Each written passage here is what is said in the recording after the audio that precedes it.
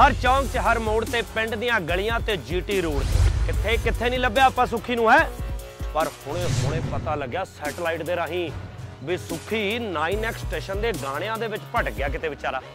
ਤੇ ਜਿਹਨੂੰ ਵੀ ਸੁੱਖੀ 9x station ਦੇ ਗਾਣਿਆਂ ਦੇ ਹੇਠਾਂ ਮੰਜਾ ਜਾਂ ਬਿਸਤਰਾ ਚੱਕ ਕੇ ਨੱਠਦਾ ਦਿਖਿਆ, ਤੁਸੀਂ ਫਟਾਫਟ ਹੇਠਾਂ ਲਿਖੇ ਨੰਬਰ ਦੇ ਉੱਤੇ WhatsApp ਕਰ ਦਿਓ। ਬਸ ਫੇਰ ਕੀ ਆ, ਜਿੱਤਣ ਵਾਲੇ ਨੂੰ ਮੌਕਾ ਮਿਲੂਗਾ ਜੀ। 9x ਸਟੇਸ਼ਨ ਦੀ 25 ਮਾਰਚ ਨੂੰ ਹੋਣ ਵਾਲੀ ਚੰਡੀਗੜ੍ਹ ਯੂਨੀਵਰਸਿਟੀ ਦੇ ਵਿੱਚ ਜਿਹੜੀ ਨਾਈਟ ਆ, ਮੰਜੇ ਬਿਸਤਰੇ ਦੀ ਟੀਮ ਦੇ ਨਾਲ ਪਰਫਾਰਮ ਕਰਨ ਦਾ। ਮੈਂ ਵੀ ਨਾਲ ਹੀ ਆ ਜੀ।